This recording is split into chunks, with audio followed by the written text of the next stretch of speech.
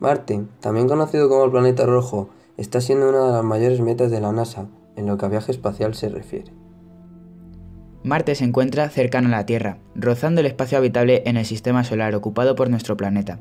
Es el cuarto planeta más cercano al Sol, por delante de Júpiter. Entre nuestro planeta natal y el planeta rojo hay una distancia entre 249 y 206 millones de kilómetros, dependiendo de su posición, ya que su órbita no es perfectamente circular.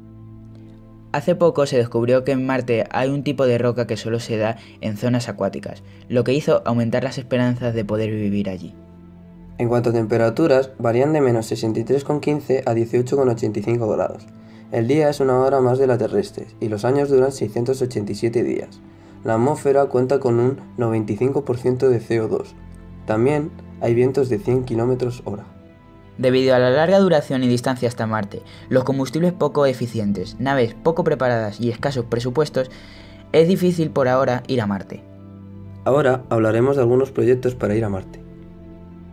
La New Shenzhou es un proyecto realizado por los chinos para relevar su antigua Shenzhou, que llevaba en la órbita de Marte más de 13 años.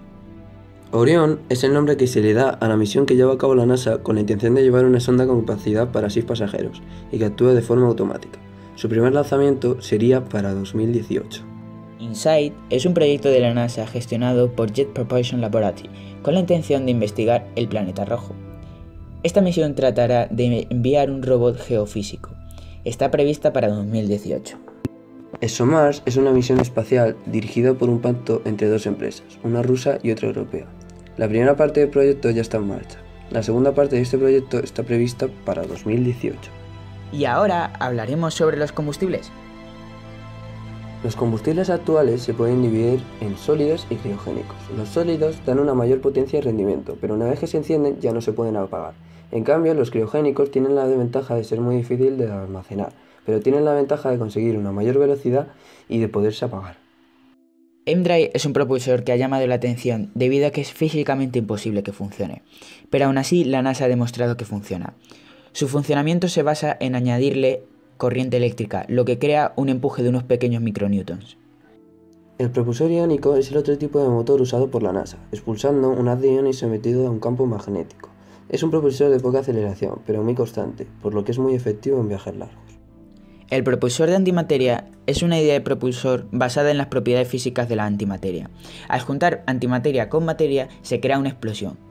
Se dice que con un gramo de antimateria se podría ir y venir de Plutón. El problema es la dificultad de crear este combustible, además del elevado precio. La propulsión electromagnética es un método de propulsión que lograría hacernos viajar a la Luna en tan solo 4 horas y unos 70 días a Marte. El prototipo de traje que se ha elegido para viajar a Marte se llama Z1, capaz de trabajar en gravedad cero. Cada traje es personalizado con bandas de colores para identificar a la persona que esté dentro. Según la vida que llevan ahora los astronautas en la estación espacial, podemos deducir cómo vivirían los astronautas en la nave que les llevará a Marte. Tendrán que adaptarse y vivir en gravedad cero y a comer polvos. Una de las ideas propuestas para la alimentación de los astronautas en la nave es llevar polvos que al mezclarse con agua logren dar las tres comidas diarias. Esto conseguiría abaratar el coste del embalaje y ahorrar peso. Nuestra conclusión es que todavía no es necesario viajar a Marte debido a la difícil adaptación del ser humano, y centrar los fondos en descubrir nuevos planetas más habitables e invertir más en un I+D que logre encontrar naves más eficientes.